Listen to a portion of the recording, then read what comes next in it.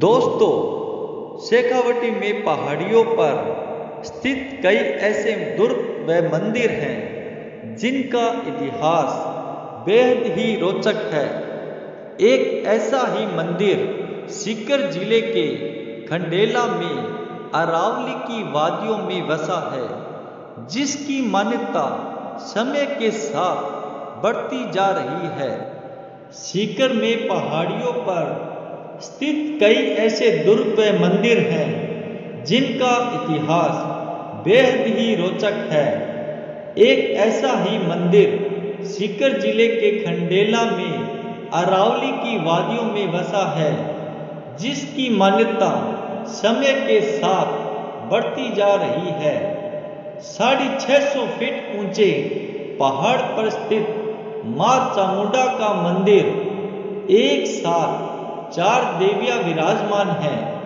मंदिर में शारदीय नवरात्रि के समापन के दूर दराज से आए श्रद्धालुओं ने माता के मंदिर पहुंचकर माता को धोख लगाकर अपने परिवार की खुशहाली की कामना की। पूरे भारतवर्ष में बसे हुए लोग अपनी कुल देवी माता के दर्शनार्थ यहाँ आते हैं। तथा साल में जाग जड़ूले भी करते हैं।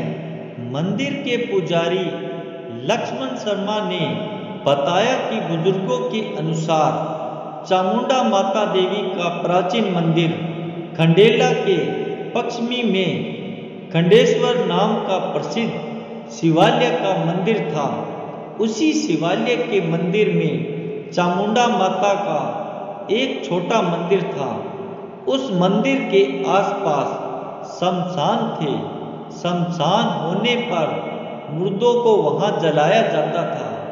एक दिन चामुंडा माता पुजारी के स्वप्न में आई और कहा कि मुझे यहाँ मुर्दे जलने की दुर्गंध आती है।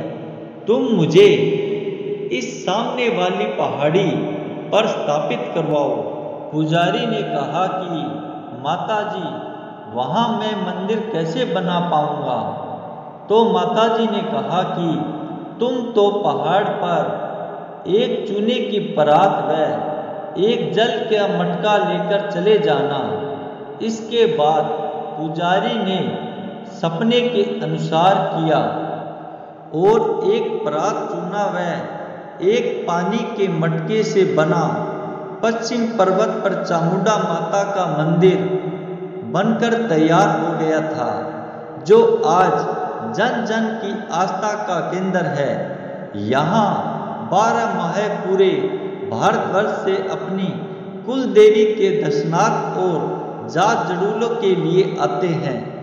मंदिर में पहले मन्नत पूरी होने पर लोग पशु बलि चढ़ाते थे, मगर अब इस परिषद में बलि चढ़ाने, शराब आदि पर पाबंदी लगा दी गई है। इससे श्रद्धालु, खासकर महिला श्रद्धालु भी बिना किसी संकोच डर के मंदिर